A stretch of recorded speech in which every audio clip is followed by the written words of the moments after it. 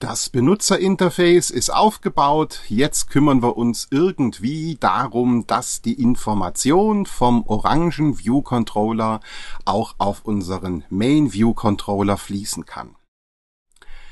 Dann zeige ich euch in diesem Video, wie man es nicht machen sollte, wie es aber funktioniert. Und okay, ja, hm, erlaubt ist, was gefällt, könnte man so stehen lassen im Raum.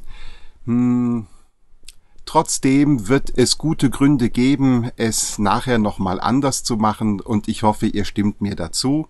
Ich kann euch natürlich nicht reinreden, wie ihr eure Apps entwickelt, aber wenn denn das Problem wirklich so einfach ist, wie es sich jetzt hier darstellt und wir nur diese zwei Controller haben, die miteinander reden wollen, dann können wir uns den Aufwand doch ein bisschen reduzieren.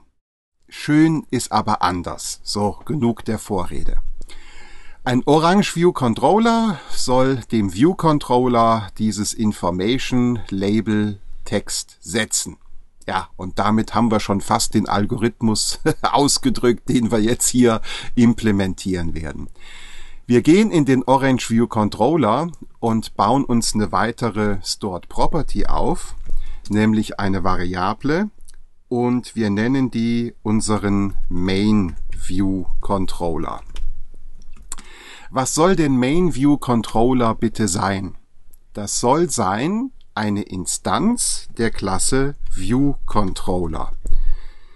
Da wir vom Orange View Controller nicht den Initialisierer überschreiben können, weil das auf magische Weise von Apple innerhalb des iOS Frameworks geschieht, bleibt uns nur die eine Chance, machen wir halt den View Controller optional. Ja, was jetzt? View Controller Apple oder wie? Nee, nee, Leute. View Controller, rechte Maustaste Jump to Definition. Das ist ja hier unser, unser View Controller. Der da. Der, der im Storyboard hier mit der Überschrift Main versehen ist. Und unser Orange View Controller bekommt jetzt eine Stored Property namens Main View Controller eben von genau diesem Typ. So. Jetzt müssen wir also nur noch, wenn wir vom Main View Controller zum Orange View Controller gehen, die Instanz des View Controllers übergeben. Also quasi uns selbst. Wir übergeben uns. ja, äh, hoffentlich nicht im wörtlichen Sinn. Hier gehen wir also in den View Controller herein. Da war doch unser Prepare for Segway.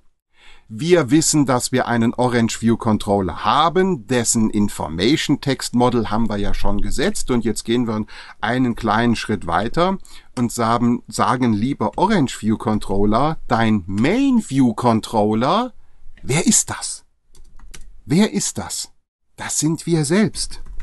Wir übergeben uns selbst. Ich hab's doch gesagt. Und ähm, damit hätte jetzt der Orange View Controller einen Main View Controller als Instanz zur Verfügung. Wenn denn das so ist, dann kann doch der Orange View Controller, wenn er verschwinden will, auch auf diesem Main View Controller irgendwas setzen, irgendwas tun. Und dann werden wir das hier mal hinschreiben, dass wir sagen, also, wenn ich einen Main View Controller habe, und nur dann, und das ist schon die Frage, wie sollen wir das codieren? Sollen wir das umständlich machen, indem wir sagen, habe ich einen Main View Controller und ist das gleich mein Main View Controller? Und jetzt sagt ihr wieder, hä? Ist A gleich A? Was soll denn der Blödsinn? Ja. Also, hm, kurz erklärt. Main View Controller ist ein View Controller, aber optional. Kann also nil sein oder einen Wert haben. Der ist ja so lange nil, wie unser, äh, unser Main View Controller den mal mit irgendeinem Wert setzt. Wenn das nie passiert, wäre ja Main View Controller hier unser Stored Property immer nil. Jetzt will ich aber beim View will disappear wissen, habe ich denn eine Instanz von dem Main Controller? Und dann kann ich sagen, pack mir doch mal diesen Main Controller aus, wenn er nicht nil ist. Und wie möchte ich, dass die Variable heißt? Ja, Main View Controller. Es ist übrigens eine Konstante und keine Variable. Ne? Steht ja if let da. Dann könnte ich hergehen und sagen, lieber Main View Controller, du hast ein Information Label und dieser Text, der soll sein, was in meinem Information Text Field der Text ist. So, jetzt wird uns Xcode, glaube ich, wieder ein bisschen helfen mit der Hervorhebung, dass ihr auch wisst, was gemeint ist. Ich klicke mal diesen Main View Controller an und schaut mal, damit ist unsere Stored Property gemeint. Jetzt klicke ich mal diesen Main View Controller an. Und damit ist dann diese Konstante gemeint und nicht mehr die Variable. Wir überschreiben also die Main View Controller Stored Property mit einer neuen lokalen Konstante gleichen Namens. Das ist erlaubt. Das ist auch erwünscht. Das seht ihr in tausenden von Swift-Projekten.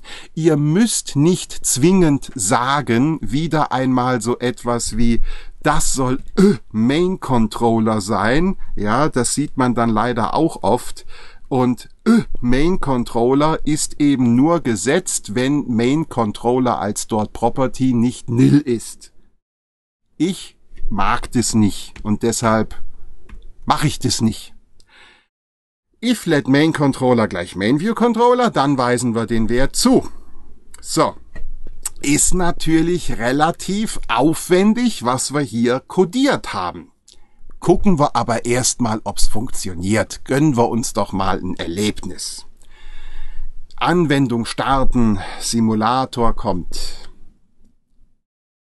Wir gehen auf den Orange View und wir sagen Yeah, Baby. Und wir gehen zurück.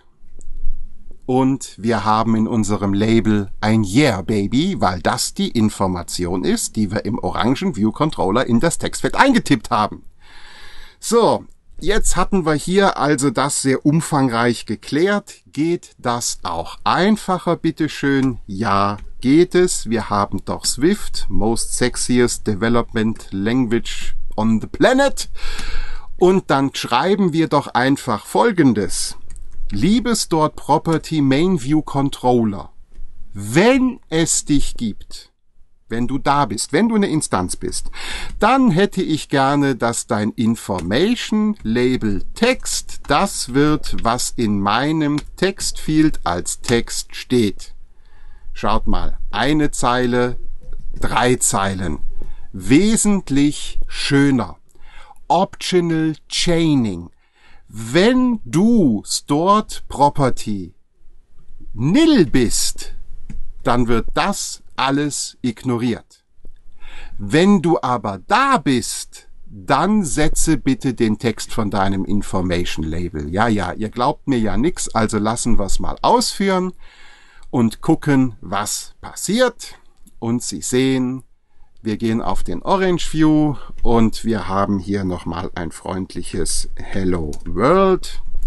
Und wir gehen zurück und wir sehen die Hello World in unserem Label, weil die Information übertragen wurde. Also, das soll der Weg eins sein, der aber nicht so schön ist. Warum ist der nicht so schön? Naja, weil jetzt der Orange View Controller mit unserem View Controller irgendwie verheiratet ist und der sogar noch wissen muss, dass der View Controller ein Label hat, was Information Label heißt und fummelt also dem anderen Controller im User Interface rum. Dass das geht, sehen wir hier. Dass das in diesem Beispiel, wenn eure App nicht komplexer ist, auch ein möglicher Weg ist, wissen wir jetzt auch, aber ah, geht besser, geht sauberer, wir haben Swift, wir haben Möglichkeiten und welche genau sehen wir dann im nächsten Video.